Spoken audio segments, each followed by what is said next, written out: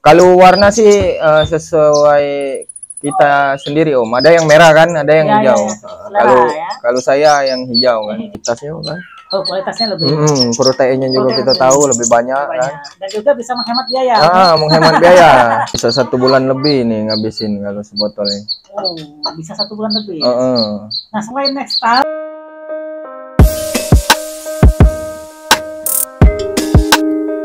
Assalamualaikum warahmatullahi wabarakatuh. Jumpa lagi dengan kita di channel Ari Maria Official, channel yang membahas tentang hobi seputar dunia hewan. Baiklah teman-teman, pada video kali ini kita akan membahas atau belajar bagaimana cara membuat nestar untuk burung kolibri ninja atau burung konin. Nih. Di sini saya sudah berada di kediamannya Om Satria lagi Om ya. Ya. Ya teman-teman, sebelumnya silakan teman-teman untuk dapat mensubscribe, like, komen, dan share video ini supaya teman-teman tidak ketinggalan informasi menarik dari kita. Baiklah kita langsung saja menemui Om Satria. Apa kabar Om? Baik. Alhamdulillah ketemu lagi Om ya. Iya. Tadi kita bahas tentang apa nama Om burung ciblek sudah ya. Nah sekarang Om ini juga hobi burung konin ya. Konin ya. Atau yang kita sering oh, burung konin ini atau burung kolibri ninja. Heeh. Kalau kita sering nyebutnya konin Om ya. Ya, konin. Udah lama hobi burung konin, konin Om? Lah lumayan lah sama kayak ciblek. Eh, sampai ciblek ya. Kenapa hobi konin Om? Konin ini burung kecil Om, tapi isiannya bisa di masteri kan. Oh, di Masteri master, burung ya. mewah-mewah. Oh, ya ya ya. Nanti kita akan belajar Om ya, bagaimana cara membuat apa namanya burung konin menjadi gacor dengan racikan sendiri Om ya. Ah, Mungkin eh, burung kolibri, eh, kolibri ninja ini eh, sering kalau di alamnya itu sering memakan nektar bunga, Ah, ya.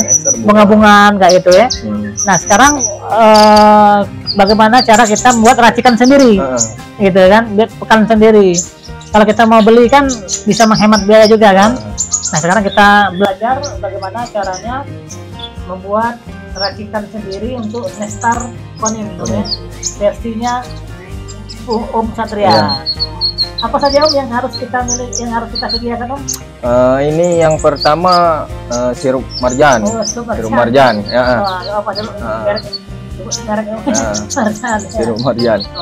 Eh. Ini ma- apa warnanya beda-beda apa? Kalau warna sih eh, sesuai kita sendiri Om. Ada yang merah kan, ada yang Ya, ya, hijau. ya. Kalau Merah, ya. kalau saya yang hijau kan. Hijau ya. Hmm. Apa lagi Om? Terus eh, ada madu, Oh, madu. Madu. Ini madu. ya. madu saset. Ah, ah, madu. Saset. Kalau udah katik madu murni ini kan madu saset ini bisa. Fungsinya apa madunya? Biar biar eh, suhu badannya terjaga kan Oh, panas. ya. Selain itu Ada lagi susu. susu. Susu. Kita. Ya, kita pakai susu saset wae kan.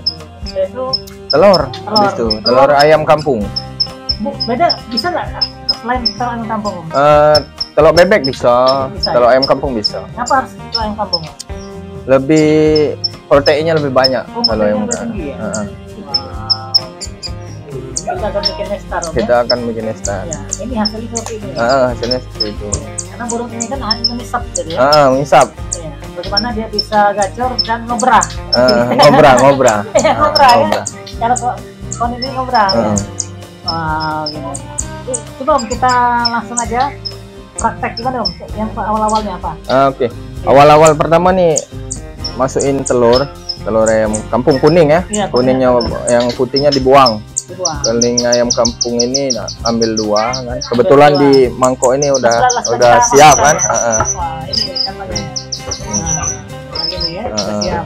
Sudah itu apa lagi? Terus masukin marjan, Marjan, sirup. ya. Berapa ukuran marjannya? Eh, kalau kita dua telur ini pakai setengah, Oh, pakai setengah. setengah setengah botol. ha. Heeh, lumayan, Lumayan. Bisa masuk di sini. Bisa.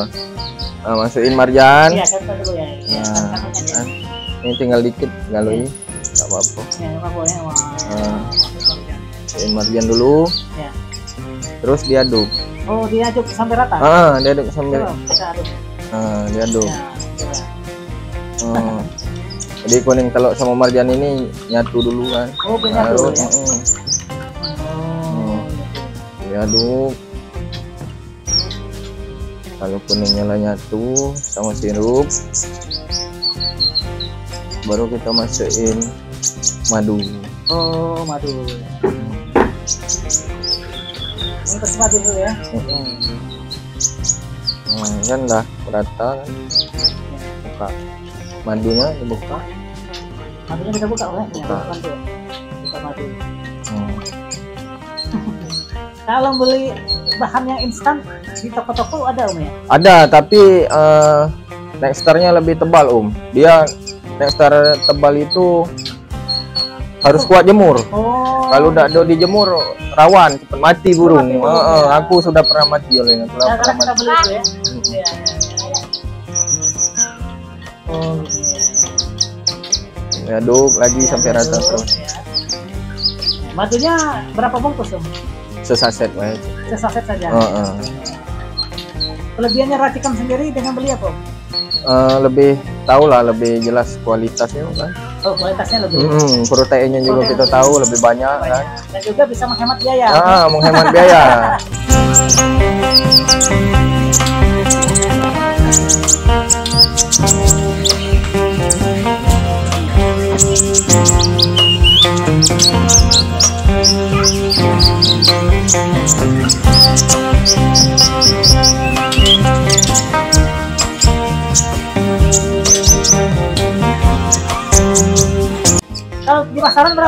biasanya? 35 sampai 40 kalau tidak Oh. salah. Soalnya jarang beli kan, bikin meracik sendiri dari dulu. Sendiri, Nah, dari dulu ya. Habis itu masukin susu. Susu susunya berapa saset? Sesaset dulu. Nah, lihat kekentalan kan. Oh. Ini versinya Om Satria ya. Hmm. Karena ada juga beda-beda Om ya. Ya beda-beda. Ini Ya, aku sering bikin kayak gini soalnya. ya kayak gitu. Hmm. Ini susunya satu saset ya. Ah, masih.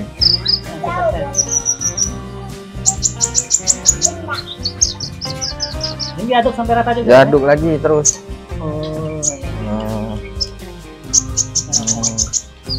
Ini dapatnya berapa banyak biasanya kalau seperti ini? Kalau Oh. setengah ini. ya? kalau setengah ini ada sekitar 400-an, 400 mili. Satu botol ini. Ah, lebih kurang satu botol itu. Satu botol ini. Ini biasanya berapa habisnya berapa minggu dia? Kalau habis ngabisin pakan ini bisa berbulan-bulan. Oh, sama Ah, ah. Inilah makanya hemat biaya. tadi, Hemat kan? biaya. Ya. Mantap. Ah. Ini pas sudah. Ah. Oh, kayak ini jadinya ya? Nah, ini jadinya, Om. teman-teman, Nah. hasilnya. Star untuk Kolibri Ninja versi Om Satria. Mm-mm. Ya. Bisa satu bulan lebih nih ngabisin kalau sebotol ini. Oh, bisa satu bulan lebih. Heeh. Nah selain Nextar, ini Om ada lagi ya? Apa namanya pakannya? Kalau pakan selingannya kerutu, Selingan, kerutu, selingan, kerutu, Oh, ya, kerutu. kerutu juga ya? Heeh. Kolibri ninja ini hobi juga kerutu. Tapi juga kerutu. Tapi jangan terlalu berlebihan. Ya. Selain itu, Eh, kerutu, kerutu itulah. Tunggu, tunggu, tunggu. Heeh. Ini makan hariannya. Ini ya? pakan harian. Oh, iya. Ini Pak- bias. Kalau makanan untuk rawatan untuk apa namanya ikut lomba gimana om? Sama inilah. Oh sama. Inilah pakan harian juga pakan lombanya juga racikan inilah. Oh. Cuman tinggal tergantung nyeting kan di lapangan. Oh, settingannya ah, beda lagi ya. Beda lagi waktu di lapangan. Apa burung nak dimandikan dulu kan? Apa nak dijemur dulu kan? Hmm. Ini apa namanya? eh, perawatannya mudah nggak kalau beli ninjanya? Eh, dia mau ke mudah, mudah, mudah. Dia mau ke susah, susah sih. Kalau bagi pemula sih sering mati. Kalau eh, eh, Ya sering mati ya. eh, Tip-tipnya gimana? Biar nggak biar mati gitu. eh, yang pertama harus di sering-sering dijemur. Eh, eh, burung ini harus sering-sering dijemur kan. ya. Sekitar 15 menit sampai 30 menit. Dijemur tiap hari. Oh. Usahakan. Ini udah lama ya? Oh, lumayan lama ini. Udah lama ya. Ini namanya soto. Belum ada nama. Belum ada. Ah, Mau ikut gantangan berapa nah itu makannya? ah, ah. Wah.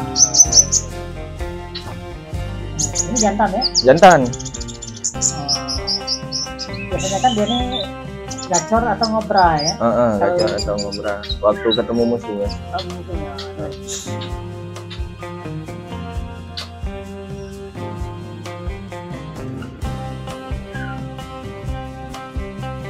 biasanya eh, uh, konin ini kan salah satu burung yang dilombakan juga gitu, hmm, kan? Ya? Iya. Nah, iya biasanya eh, selain burung kicau yang lain gitu ya. Kalau beri ninja ini di- ada isian nggak? Om? Eh, ada om Eh, kolibri ninja ini tergantung kita mastery Oh, eh, itulah unik burung ini burung kecil tapi isiannya bisa niru sama burung-burung banyak, ya? eh, eh, banyak biasanya apa aja biasanya? Eh, sebenarnya versi masing-masing yang kalau aku masterinya ciblek kenari kapas tembak lilin kan Oh, gitu gitu. Berarti banyak isian juga walaupun kecil, banyak dia banyak isian juga Ah, bisa juga ya. Mm-mm. Oh ya. ya. Baiklah Om, eh, untuk jenis-jenis kolibri ninja ini ada apa aja Om, biasanya? Eh, setahu pengalaman saya itu ada delapan kalau tidak salah ya. Yang pertama ini kolibri ninja yang ini kan Ya. yang keduanya ada kolibri sepah raja Apa aja ya? Hmm. Oh. yang apa lagi ya yang ketiga kolibri ulung Oh, ada kolibri ulung ya. Oh. Kepala kolibri ulung. terus eh, kolibri kelapa Oh, ada sih Ada lagi. Ah, ya, banyak Eh, juga tipe tipe- kolibri lagi kolibri Sriganti Oh, Sri Ganti ya. Eh, terus banyak lah kolibri Shanghai Shanghai, kayak nama Cina ya. Hmm, Shanghai ya. terus kolibri gunung Oh, kolibri gunung ya. ya. Terus kolibri matahari Oh, mat- matahari tapi jarang matahari ini yang kita ini oh jarang. kebanyakan kolibri mah ini Ya. kolibri ulung sama kelapo Dia kelapa dengan Ah, ulung. ah. Kali ini apa ceritanya? kolibri biasa ini Biasa aja. ya? Ah. Oh, iya. Wah, berarti ada delapan jenis. Kolibri. banyak. Ini versi kita aja. Ya. ini versi kita tahu. Ah, ah. Masih banyak lagi. mungkin ya. masih banyak lagi di luar sana kan Di luar sana, yang lain. Baiklah teman-teman, mungkin cukup sampai di sini dulu video kita bagaimana cara membuat nektar versinya Om Satria. Sekali lagi saya ucapkan terima kasih Om Iya. atas edukasinya, ilmunya yang telah memberikan kepada kami. Semoga dapat bermanfaat bagi teman-teman kita, terutama para pecinta kolibri ninja atau konin yang kita sering sebut Nah, Om, ya. Ya teman-teman mungkin cukup sampai di sini dulu pesan saya cintailah dan merawatilah hewan peliharaan anda seperti anda mencintai dan merawat diri anda sendiri. Saya akhiri wassalamualaikum warahmatullahi wabarakatuh. Bye.